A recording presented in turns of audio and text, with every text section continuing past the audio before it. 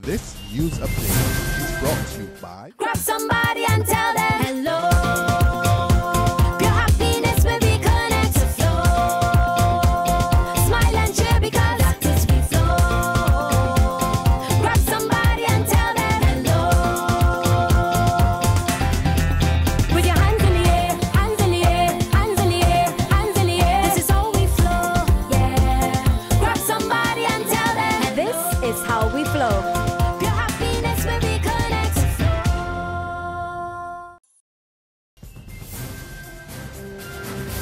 Friday, September 4th, and this is the Barbados Today evening update. I'm Frenella Wedderburn.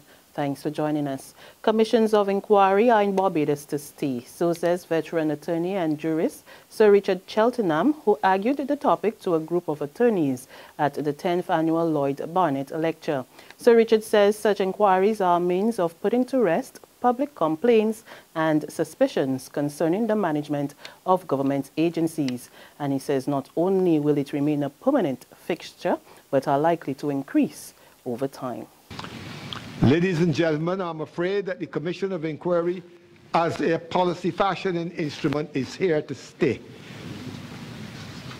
I am convinced that we will see them being established on an increasing basis Uh, and with the sole purpose of helping to create and broaden policy options across a wide area of social, political, and economic activity. They are likely to remain a part of the fabric of modern government and for good reason. And I am so persuaded. Overall numbers at the University of the West Indies may be down, but the Center for Resource Management and Environmental Studies is singing a different tune. Although enrollment of at the research center is not in the hundreds, Director Dr. Adrian Cashman says he is pleased with the more than 50% increase. CERMES now has 15 students pursuing postgraduate programs this year compared to the nine students last year. We are looking at, at an intake into the CERMES postgraduate program this year of 15 students. Uh, that is an increase from last year of nine students. Uh, obviously, from my point of view as director, I would like to see that number up around 20 um, because it's good for us in that it, it promotes the, the, the group dynamic, the learning between the students and with with the academics and the other staff as well. So I'd like to see it even more. What are we doing? What have we been doing?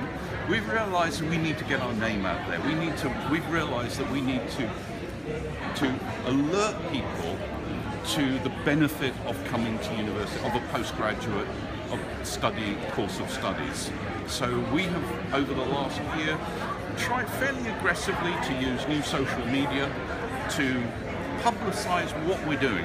At the same time, the president of the Guild of Students at Cave Hill says tuition fees continues to be of serious concern. I think this year we may be, we're not maybe hearing as much grumbling or as much commentary about it this year as, as maybe we did last year.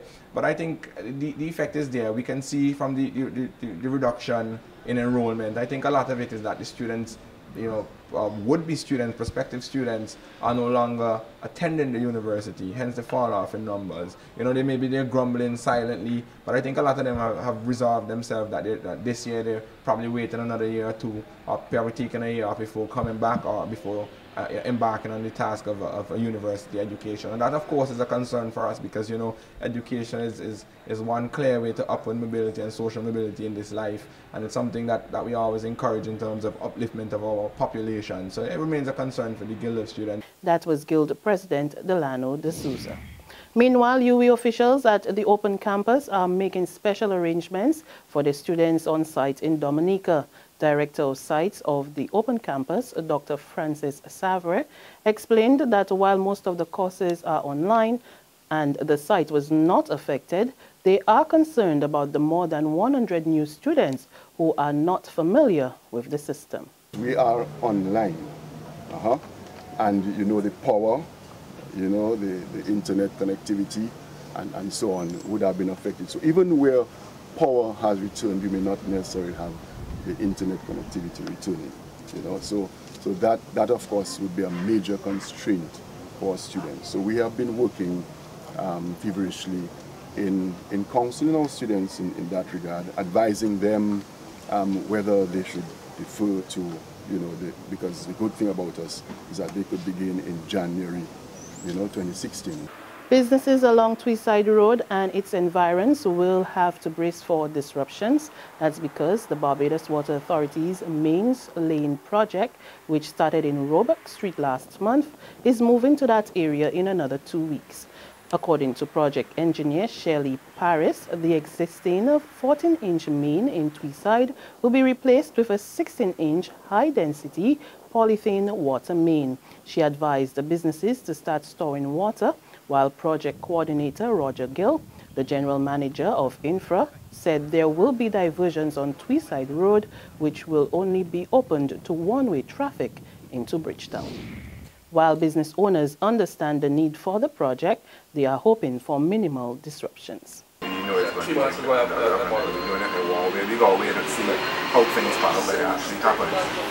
Things pan out there actually happen. So we just waiting to see. I hope it won't be too much disruption, obviously, to, to upset the business. But we will work with them because you know, it's, it's, it's over us. We have to work. We will work with them and hopefully it won't cause so much inconvenience. To the world of sports, two Barbadian cricketers are at the helm of the West Indies team. Jason Holder has been appointed captain and Kraigg Brathwaite his deputy for next month's tour of Sri Lanka.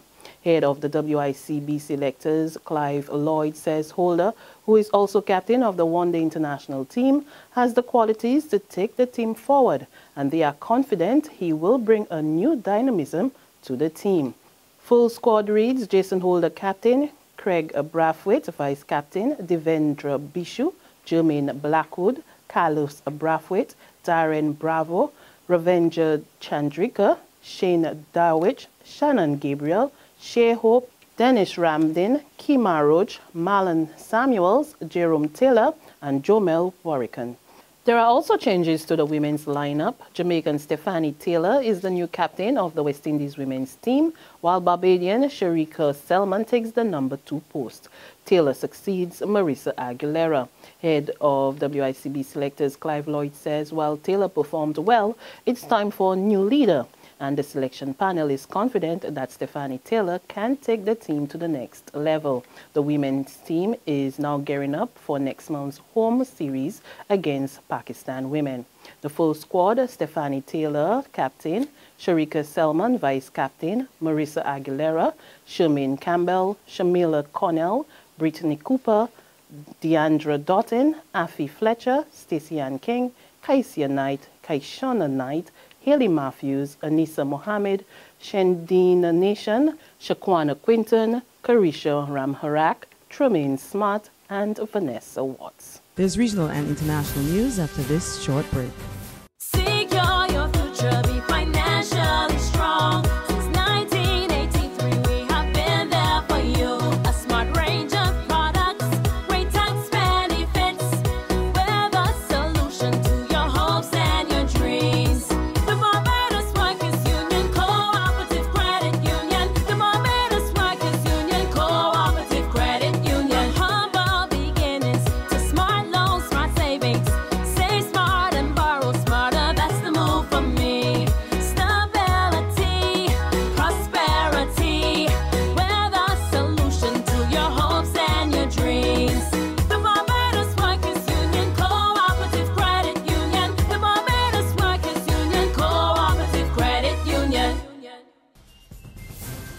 On the regional scene, Dominican authorities are investigating reports that two bodies have been sighted in Guadeloupe waters. Chief of Police Daniel Carbon says they are following up on the report, even as he disclosed that bodies have also been seen in Petite Savanne, one of the areas hardest hit by Tropical Storm Erika. Carbon says 11 bodies have been recovered so far, while 22 people are feared dead. Meanwhile, CARICOM Secretary Ambassador Irwin LaRocque assures the battered island that the Caribbean is standing with Dominica. LeRock, a Dominican national, says the region will continue to provide all necessary assistance. ordinary persons in the streets throughout the region, um, you know, call and ask, how can we assist, what can we do? So there's a tremendous, tremendous amount of outpouring. So as I said, I'm here to see what I can assist. Um, the government of Guyana, before I left, um, uh, has asked me to inform EPM that um, they'll be doing a consignment of rice to Dominica next week. And um, we'll be waiting when I get back to see what is very specific needs uh, you have. Um, they're also willing to offer military personnel uh, if, just, if that is needed. And um, the private sector of Guyana has come forward. I know the private sector of Trinidad and Tobago, um, Barbados, they're also coming forward and wanting to know how they can assist. So I'm basically here to then support both in my own capacity as a son of the soil, but also in my capacity as Secretary General and international contacts and regional contacts which I can bring to bear on this effort. On the international front, British Prime Minister David Cameron announced his plans to allow more Syrian refugees to resettle in the United Kingdom in response to the worsening humanitarian crisis. No figure has been decided, but the Prime Minister said the extra refugees would come from camps bordering Syria, not from among those already in Europe. Britain, he says, will act with head and heart to help those most in need. Britain has a moral responsibility to help refugees as we have done throughout our history. We're already providing sanctuary and we will continue to do so. As the second largest bilateral donor to the crisis, we have provided over £900 million in aid to help those affected in Syria and the region.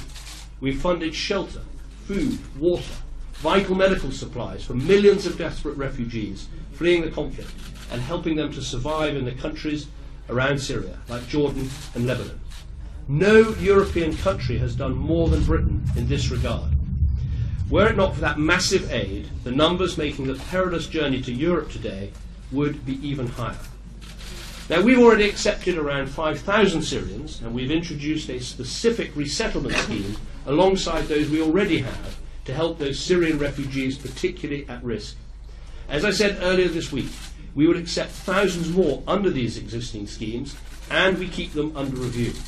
And given the scale of the crisis and the suffering of people, today I can announce that we will do more, providing resettlement for thousands more Syrian refugees. And that's news and sports. But for the very latest, all day, every day, log on to www.barbadostoday.bb. Subscribe to our e-paper, our email updates, and like us on Facebook. Also catch us on Izumi Media and bus terminals or screenplay at supermarkets and gas stations in near you, as well as Channel 101 on Flow TV and Mix 96.9 FM. I'm Fernella Wedderburn. Have a wonderful but safe weekend.